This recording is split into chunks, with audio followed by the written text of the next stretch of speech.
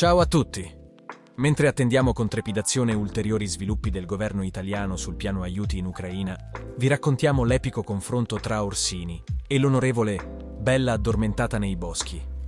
Riuscirà Orsini a risvegliarla dal sonno profondo? Facciamo questo confronto tra il professor Alessandro Orsini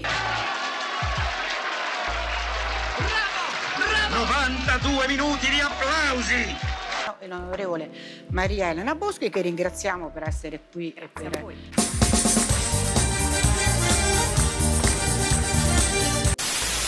Dice il problema è il Donbass. Se noi vogliamo fare una trattativa con Putin dobbiamo fare delle concessioni. Finora non c'è stato nessun discorso di nessun capo di Stato che abbia fatto delle proposte concrete per risolvere il problema. E a volte rimango stupito anche dell'ingenuità di certi quotidiani. Oggi leggevo sui principali quotidiani italiani eh, questa frase la ricordo, la cito a memoria senza citare il quotidiano per non far polemica con nessuno. Eh, Putin non vuole la pace e non sono bastate due ore di telefonate con Macron per spingerlo alla pace. Lei si rende conto dell'ingenuità che c'è in un'affermazione di questo tipo? Professor Orsini dice dobbiamo convincere sostanzialmente l'Ucraina a rinunciare al Donbass, dobbiamo concedere il Donbass a Putin.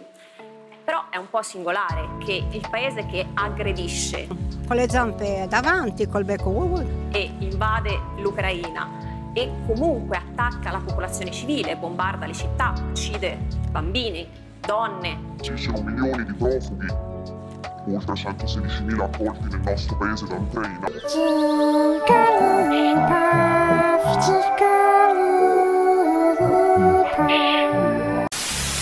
Quasi come noi dovessimo chiedere scusa a Putin. Scusi signorina, c'è, c'è qualcosa che non va? Ma non mi rompere i coglioni! Le diamo una mano, quindi è giusto dare una mano all'Ucraina, è sbagliato fare quello che sta facendo Biden, perché Biden sta sirianizzando la guerra in Ucraina.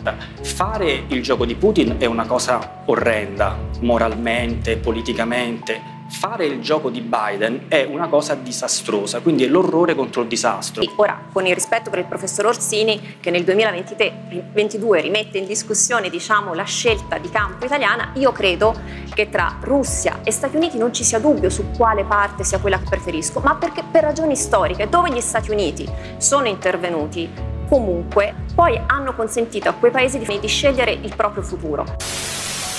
Nonostante l'assenza di un mandato del Consiglio di sicurezza dell'ONU e un'imponente mobilitazione dell'opinione pubblica mondiale contro la guerra, il 20 marzo 2003 inizia l'attacco contro l'Iraq.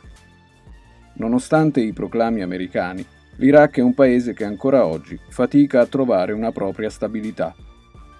Le presunte armi di distruzione di massa irachene, usate come pretesto dagli Stati Uniti, non sono state mai trovate. Di scegliere il proprio futuro. Perché le cosiddette good wars, le guerre giuste, fossero viste per quello che erano, guerre. Per moltissimo tempo la società statunitense è rimasta polarizzata da una rabbia cieca, senza riuscire a vedere quello che fin da subito era in realtà la luce del sole, cioè che dagli albori del conflitto gli Stati Uniti hanno risposto alle atrocità di Al-Qaeda torturando i miliziani che catturavano, che hanno speso molto di più nel fabbricare bombe il più distruttive possibile, che ricostruire quanto queste avevano distrutto. E devo dire che la scelta dell'Italia a fianco degli Stati Uniti e del Patto Atlantico non la facciamo noi oggi, è una scelta che il popolo italiano ha fatto nel 48. La domanda che mi pongo è questa. A me sembra di capire che la maggioranza degli italiani non, non condivida il modo in cui eh, Biden sta gestendo le politiche della guerra in Ucraina. I sondaggi probabilmente saremmo rimasti ai tempi del fascismo, perché Mussolini aveva un consenso amplissimo.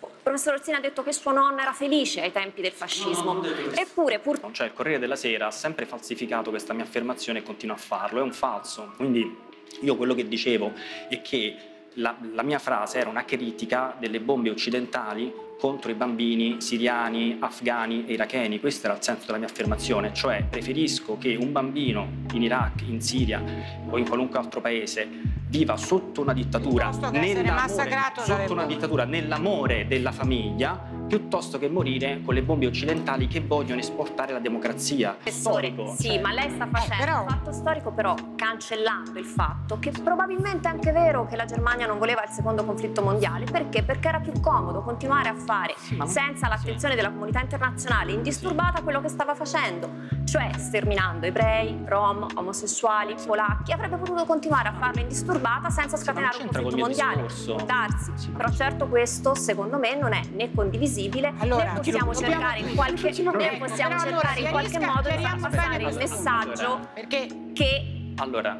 questo può avere una sua ragionevolezza. Io ho, Allora. detto, io ho detto una frase che si chiudere. trova anche nei manuali delle scuole superiori. Ho detto che quando Hitler, il primo settembre del 39, invase la Polonia, non si aspettava non voleva scatenare quella che dopo abbiamo conosciuto come seconda guerra mondiale. Da questa mia frase è stato ricavato l'incredibile, che, che- che io sono eh, un mostro, che sono favorevole alle No, dittature. perché si è Cioè, prestata c'entra quella nulla. interpretazione. Facciamo così, allora, Però facciamo così come si fa a scuola. lezione Fa sintetica, bambini, dobbiamo bambini, bambini, bambini. Per me Hitler è cattivo, mostro, brutto, Vabbè, vabbè. orrore, orrore, orrore olocausto, Eh, brutto, brutto, certo. brutto. Non è colpa dell'alleanza Francia-Inghilterra, eh, Polonia, si è scoppiata la seconda guerra mondiale. Dovevano reagire, Brutto, brutto, brutto. Io ho, fatto- ho detto semplicemente che il primo settembre del 39, quando Hitler ha invaso la Polonia, non si aspettava di far scoppiare la seconda guerra mondiale e ha usato questo eh, caso studio per spiegare il meccanismo delle reazioni a catena nelle alleanze strutturali. Hitler non ha nessuna intenzione di scatenare una guerra mondiale, ma vuole riprendersi un po' per volta quello che pensa appartenga alla Germania. Nei paesi democratici, in Inghilterra, in Francia, nessuno dice niente. Anzi, in Inghilterra qualcuno dice, in fondo noi due secoli fa abbiamo fatto l'unione della Scozia all'Inghilterra, perché non possono farlo anche loro?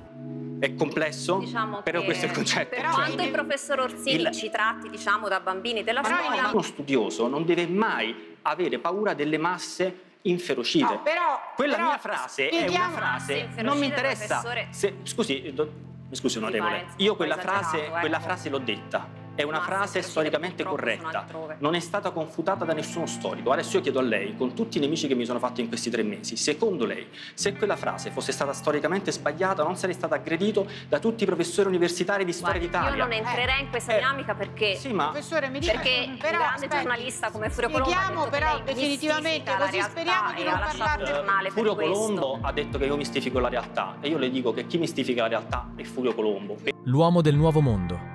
Dopo aver citato Furio per chi non lo conoscesse, vi lasciamo il link in descrizione. Che dire? La Boschi è una bella addormentata.